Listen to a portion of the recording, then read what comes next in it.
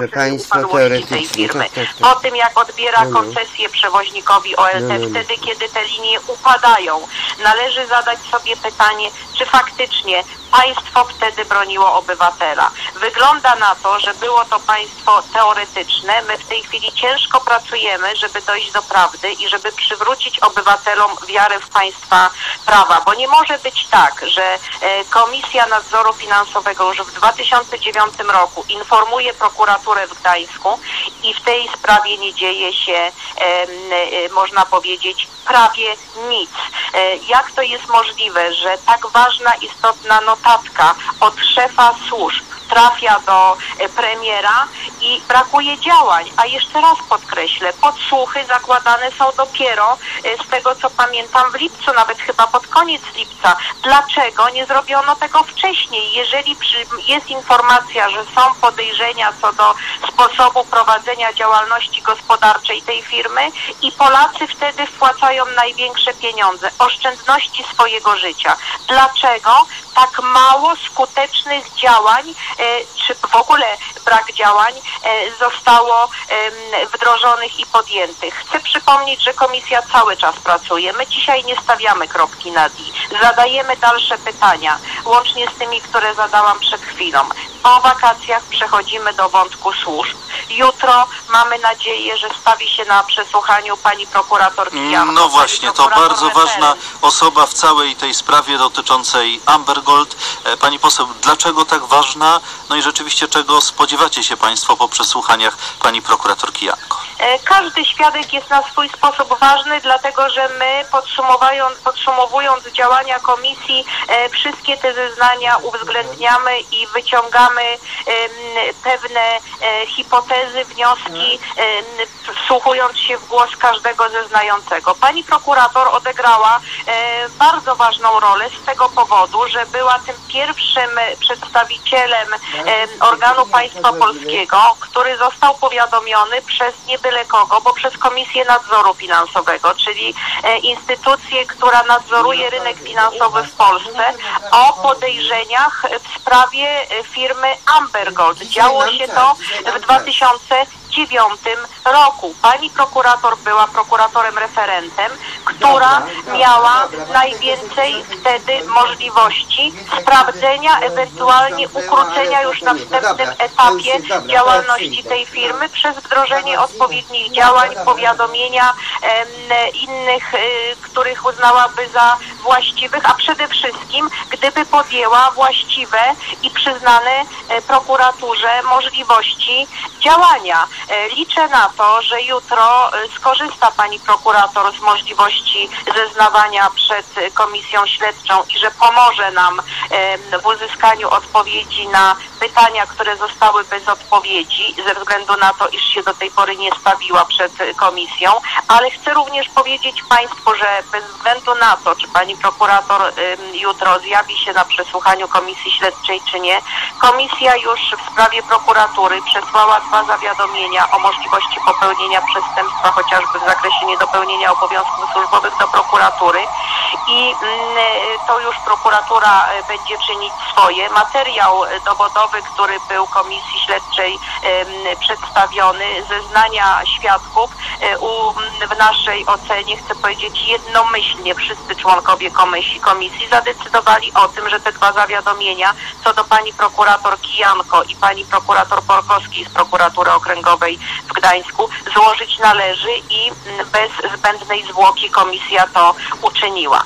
Jutro w zależności od tego, czy pani prokurator Kijanko stawi się, czy nie, mamy ruchomą godzinę drugiego posiedzenia komisji, mianowicie posiedzenia niejawnego, na którym będziemy chcieli podsumować dotychczasowe wątki tak zwane chociażby lotnicze, czyli e, związane z przewoźnikiem em, OLT w zakresie tu legalności i prawidłowości e, działań e, instytucji i, państw, i organów państwa polskiego, które w swoim zakresie powinny wypełnić należycie obowiązki. Będziemy się w całym składzie komisji zastanawiali, czy tu również pojawią się wnioski o to, aby złożyć kolejne zawiadomienia do prokuratury, ale nie chcę wyprzedzać faktów. To nastąpi jutro na posiedzeniu zamkniętym po dyskusji w pełnym składzie. Oczywiście o podjętych decyzjach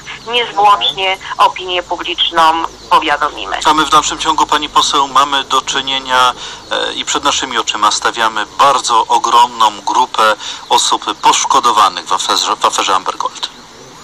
Jest y, grupa poszkodowanych osób, ale ucierpiało na tym y, państwo polskie, ale ucierpiało, mm, ucierpiał y, w zasadzie każdy obywatel naszego kraju, bo ja pragnę zwrócić uwagę, że chcemy wierzyć w to, że państwo polskie wtedy, kiedy ten słaby, ten y, przeciętny obywatel e, pracujący w tym kraju, płacący podatki, dbający o swoją rodzinę, wtedy, kiedy będzie potrzebował pomocy, państwo polskie mu jej udzieli. Państwo polskie zapewni mu bezpieczeństwa, zarówno jeżeli chodzi o obronę naszych granic, jak i to bezpieczeństwo finansowe. I my pracując w komisji chcemy dojść do prawdy po to, żeby e, wyjaśnić, kto i ewentualnie które instytucje zawiodły, e, co powinny zrobić, czego ewentualnie nie zrobiły, ale chcemy też zrobić to po to, żeby nigdy w przyszłości do takiego zdarzenia nie doszło. Chcemy to zrobić, żeby właśnie nam wszystkim, obywatelom Rzeczpospolitej przywrócić wiarę w państwo prawa, bo nie może być tak, że mamy zaufanie do y, rządu, do ministrów, że należycie wypełniają swoje obowiązki, do instytucji, które e, nadzoruje e, premier Rzeczpospolitej, e, a te instytucje działają w sposób opieszały, skutkując, te, te, te, ten brak działań skutkuje dla przeciętnego obywatela, no chociażby tak jak w tym wypadku stratami finansowymi. Tak nie może być. Państwo ma otaczać opieką swojego ob- obywatela, a władza ma być służebna wobec niego. Bardzo dziękuję za rozmowę pani poseł i oczekujemy rzeczywiście na kolejne odsłony prac Sejmowej Komisji dotyczącej Amber Gold. Dziękuję i Będziemy pozdrawiam. o wszystkim informować na pewno również jutro po posiedzeniu niejawnym. Bóg zapłać z Panem Bogiem. Dziękuję Panem Bogiem. ślicznie. Rozmawialiśmy na antenie Radia Maryja z panią poseł Joanną Kopcińską, członkiem Sejmowej Komisji do Spraw Amber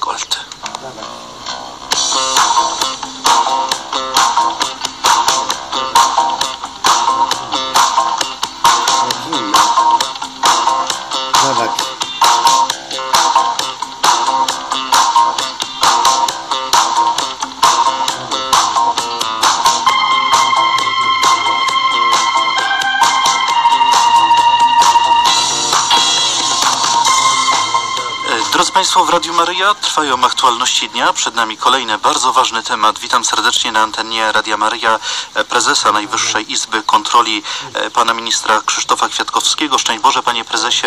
E, Witam i pozdrawiam. Najwyższa Izba Kontroli o zapobieganiu nielegalnemu obrotowi paliwami ciekłymi. Bardzo ważny raport, panie prezesie. Najwyższa Izba Kontroli negatywnie ocenia przeciwdziałanie w latach 2005, czerwiec 2016 szarej strefie na rynku paliw ciekłych. Pokazaliśmy w toku naszej kontroli, że chociaż szczególnie w latach em, 2012, 13, 14 mieliśmy do czynienia z jednej strony ze stałym wzrostem gospodarczym, a z drugiej strony ze spadkiem cen benzyny, czyli tego produktu najważniejszego z punktu widzenia Polek i Polaków, to jednocześnie, mimo że wszystko by wskazywało, że sprzedaż legalnych to bardzo ważne zastrzeżenie, legalnych paliw będzie rosnąć, było wprost przeciwnie i w związku z tym podatki, szczególnie podatek akcyzowy, nie wpływał do budżetu państwa. Zauważamy też, i to jest bardzo ważna informacja, tak jak powiedzieliśmy, że całokształt tych lat oceniliśmy negatywnie, Zauża, zauważamy, że po wprowadzeniu pakietu paliwowego i pakietu energetycznego, co miało miejsce w trzecim kwartale ubiegłego roku, daje się już zaobserwować teraz takie silne tendencje w legalnej sprzedaży paliw ciekłych, co jest także połączone z rekordowymi wynikami dwóch największych spółek sektora paliw ciekłych, czyli w tym wypadku Orlenu i Rotosu. To cieszy. Mamy nadzieję, że to będzie tendencja już e, stała i że ten okres, w którym dochodziło do tego, że sprzedaż formalnie legalnych paliw spadała, jest już za nami.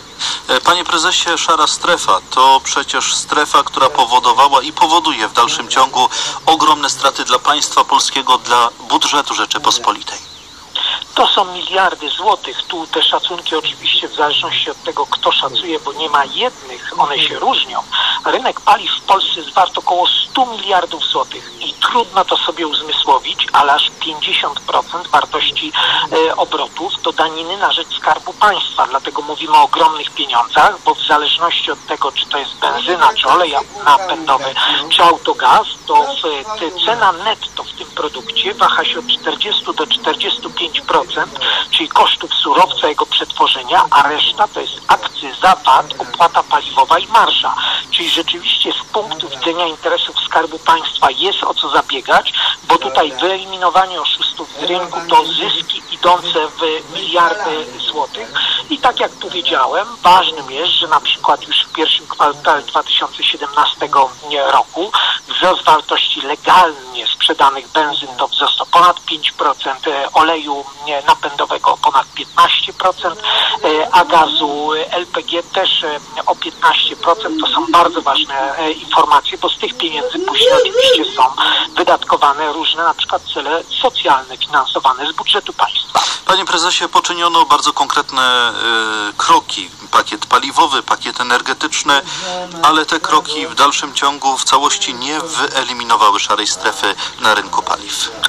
Mamy szczególnie problem z jedną rzeczą, czyli z egzekucją. Kiedy teraz e, Ministerstwo Finansów skuteczniej wychwytuje te firmy, które są oszustami, próbują, nie, próbują wprowadzać do obrotu nielegalne nie, paliwa, to później już pierwszy krok, namierzenie takiego podmiotu, ale później egzekucja tych nieodprowadzonych należności na rzecz Skarbu Państwa. I tu rzeczywiście mamy problem, bo te egzekucja, tej egzekucji nie udało się skutecznie poddać sumy ponad 440 milionów. Mówimy oczywiście tylko o obrocie paliwami ciekłymi. Mówimy o latach 2014-2016. Ze 100% tych należności udało się odzyskać służbom finansowym y, około 3% tych należności. Miejmy nadzieję, że utworzenie tej jednolitej administracji skarbowej Także państwo te widzą.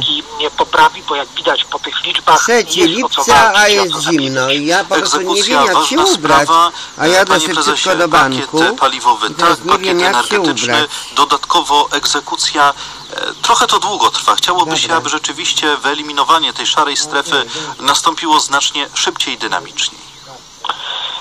To prawda, szczególnie jeżeli nie, mówimy o tym, że akurat w przypadku nie, szarej strefy dotyczącej sprzedaży głównych paliw, e, pierwsze opinie ekspertów, fachowców mówiących e, o tym, że w Polsce mamy do czynienia ze wzrastającą sprzedażą paliw e, nielegalnych, przywożonych e, z zagranicy do Polski. Pierwsze takie wnioski były w roku 2012. Poprawę tych statystyk notujemy częściową w 2015 i wzrastającą w 16 e, i e, w 17 roku, a pierwsze lata, które także oceniamy w kontroli, czyli rok 2012, 13, 14, to tak jak powiedziałem jest sprzedaż em, nielegalnych paliw, nie ma żadnej wątpliwości i to jest jeden z głównych wniosków, które nie płynie z kontroli. My mówimy o szybszej e, interwencji administracji publicznej, kiedy dochodzi do problemów. Mówimy także o takiej potrzebie Czyli stworzenia na przykład e, jednolitej informacji, jednolitej bazy danych o podmiotach z rynku paliw dostarczającej e, wszystkich analiz w zakresie rozliczania należności budżetowych. Jest bardzo ciekawa analiza mówiąca o tym, że firmy, które handlują paliwami w Polsce, to gro tych firm nie ma swojej historii. Powstały bardzo szybko i później niestety szybko znikają, co to w praktyce oznacza, że często są one powoływane do życia tylko po to, żeby przeprowadzić jedną, drugą, trzecią transakcję, na przykład właśnie sprzedaży nielegalnego paliwa i później znikają, żeby nie odprowadzić podatków i danin publicznych, które e, które odprowadzić powinny. To wszystko jest w raporcie NIK-u. Mam głęboką nadzieję, że on także będzie taką podstawą do tego, żeby jeszcze lepiej, jeszcze skuteczniej planować kontrolę służb skarbowych i mówiąc wprost, walczyć z tymi oszustami i złodziejami, którzy nie chcą odprowadzać należnych podatków na rzecz państwa. Czyli jeszcze jeden bardzo ważny element, panie prezesie, pakiet Proszę. paliwowy, energetyczny, egzekucja, No. ale także wydawania zgody na Oszuści, pojawienie się na złodzieje rynku paliw w Polsce e, poszczególnych Po podmiotów. żydowsku, Ważne, aby te podmioty miały odwrotnie, swoją historię, inwigilacja która obrazuje, że są to jednostronna, podmioty ciebie wiarygodne. postrasza, uwagę Wałęsa to, odwraca, no jak działają oszuści. A jak cyganka, tutaj na Grochowską koncesji, 115 do pani nie, Gieni Wiącek przyszła staruszki. Jedna na w kuchni tańczyła, przedstawiała materiały, a druga obrabiała i w pokoju kadrowo, bo grzebała. Przyszła czynienia Małgosia Wiącek, mówi do mamy, mamo, ma co ty tyle lat żyjesz, taka głupia jesteś? Czyli widzimy, Czyli, że odprowadza po prostu podatki. tyle lat można żyć i można być takim głupim.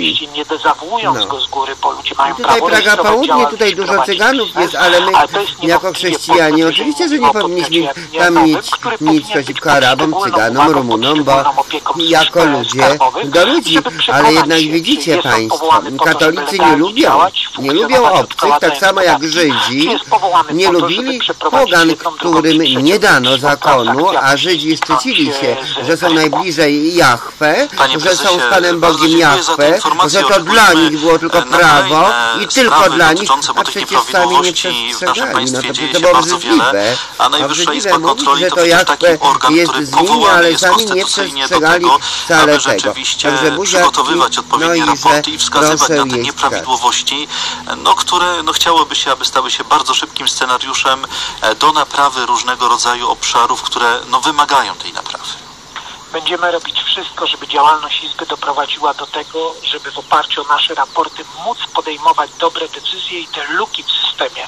Bo przecież administracja publiczna zawsze się ściga z tymi, którzy Tak, są Radio e, Koncita. nieuczciwi. I proszę być z nami, proszę Państwa. Jakie to ciekawe wszystko, jakie to jest interesujące, gdy nadaje nasze radio. To KFM, ma Euro taką Koncita, satysfakcję, Barbie Baby Landstrom Extra. I proszę tu i z nami, i tylko tu.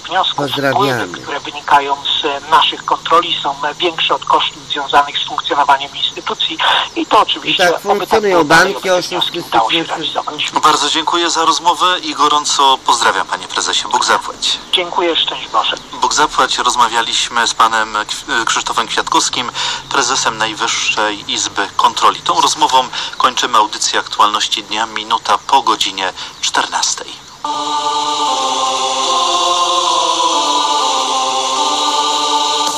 Obudź się, Polsko ma, niech przepadnie klęski mgła. W Państwa domach gości Radio Maryja. A w naszym programie czas na serwis informacyjny. Chcemy przywrócić zaufanie przedsiębiorców do państwa, powiedział wicepremier Jarosław Gowin. W Sejmie mówił on dziś o projekcie ustawy o tak zwanej małej działalności gospodarczej. Chodzi o stopniowe obniżanie składek na ZUS dla drobnych przedsiębiorców, którzy często znajdują się w trudnej sytuacji finansowej z powodu wysokich obciążeń podatkowych. Wicepremier Jarosław Gowin podkreślił, że drobni przedsiębiorcy muszą przestać się czuć jak ludzie drugiej kategorii. Ten- projekt przewiduje, że ZUS będzie rósł stopniowo, że 1200 zł ZUS-u, czyli tę obecną pełną stawkę, będą płacić tylko ci przedsiębiorcy, którzy osiągną pułap 5000 zł miesięcznie przychodu. Przykładowo, zar- zarabiający dzisiaj 1500 zł miesięcznie zaoszczędzi miesięcznie 556 zł. To pozwoli tym firmom na osiągnięcie stabilizacji, to pozwoli im z czasem, wierzymy, także na rozwój. Projekt ustawy o tak zwanej małej działalności gospodarczej powstał we współpracy ze Związkiem Przedsiębiorców i Pracodawców. Niewykluczone, że nowe przepisy wejdą w życie od początku 2018. Najwyższa Izba Kontroli negatywnie oceniła przeciwdziałanie szarej strefie na rynku paliw ciekłych w okresie od 2015 do czerwca 2016 roku. Izba zauważyła też pozytywne tendencje w trzecim okresie ubiegłego roku po wprowadzeniu pakietów paliwowego i energetycznego. To jak zaznacza NIK przełożyło się na wzrost dochodów budżetowych, mówi Zbigniew Matwiej, kierownik Wydziału Prasowego Najwyższej Izby Kontroli. Najwyższa Izba Kontroli przeanalizowała rynek paliw, oceniając okres 2015, czerwiec 2016 negatywnie ze względu na liczbę oszustw podatkowych oraz brak koordynacji między służbami. Zauważamy jednak, że pod koniec ubiegłego roku nastąpił wzrost dochodów budżetowych, ponieważ wprowadzono pakiet paliwowy i pakiet energetyczny. Jeśli taka tendencja się utrzyma, to będziemy mogli powiedzieć, że walka z szarą strefą staje się skuteczniejsza. NIK wskazała na potrzebę konsolidacji i ujednolicenia procedur, baz danych, jak i usprawnienia komunikacji pomiędzy służbami zajmującymi się sektorem paliwowym.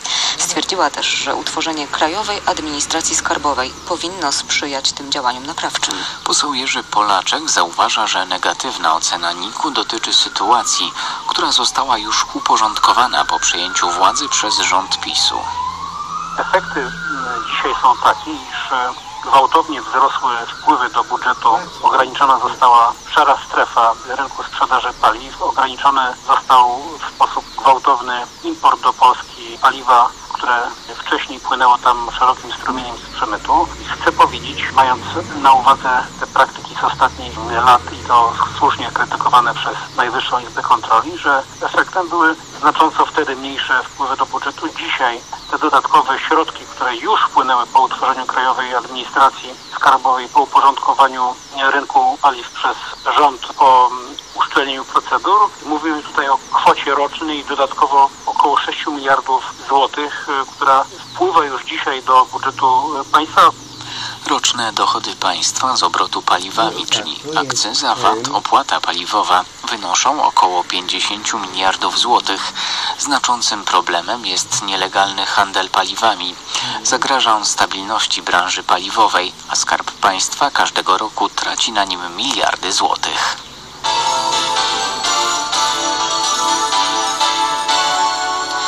Ukraińskie władze blokują polskie prace poszukiwawcze i ekshumacyjne na Ukrainie. Strona ukraińska postawiła zaporowe warunki wydania zgody na dalsze działania Biura Poszukiwań i Identyfikacji IPN. Chodzi m.in. o odbudowę w Polsce rozebranych pomników ku czci UPA i publiczne potępienie ich demontażu. Negocjacje w sprawie wznowienia prac nadal trwają. O sprawie poinformował dziś nasz dziennik.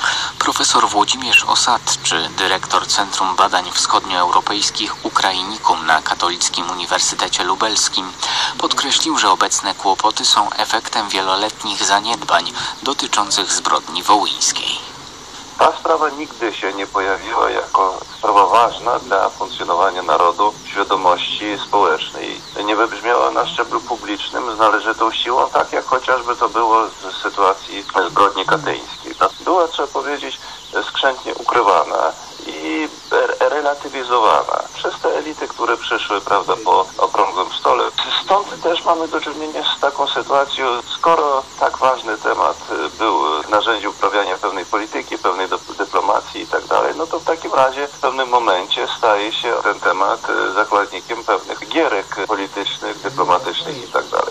Specjaliści z Biura Poszukiwań i Identyfikacji IPN-u zamierzali w pierwszej kolejności przeprowadzić ekshumację szczątków ofiar zbrodni wołyńskiej w miejscowości Ostrówki. Poza tym poszukiwania miały dotyczyć miejscowości Tynne oraz Hołosko we Lwowie i żołnierzy, którzy zginęli w walce z Sowietami po 17 września 1939 roku.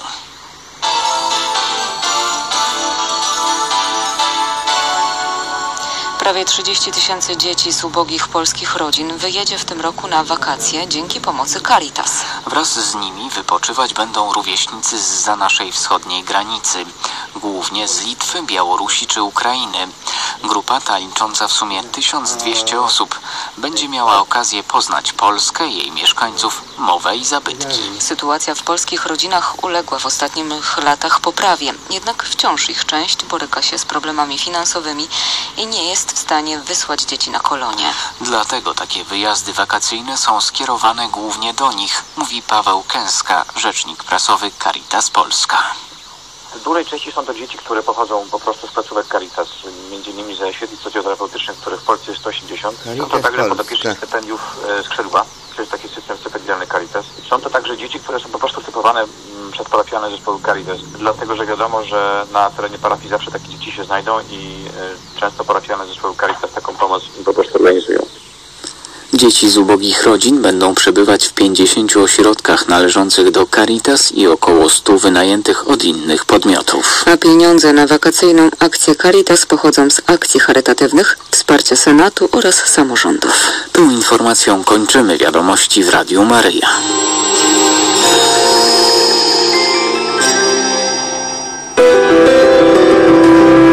Odbudowa potencjału obronnego Polski w ramach Sojuszu Północnoatlantyckiego to temat dzisiejszych rozmów niedokończonych, w których gościć będziemy pana posła Wojciecha Skurkiewicza, a także pana posła Artura Sobonia. Początek rozmów o godzinie 18.15 na antenie telewizji Trwam, natomiast kontynuacja o 21.30 w Radiu Maryja.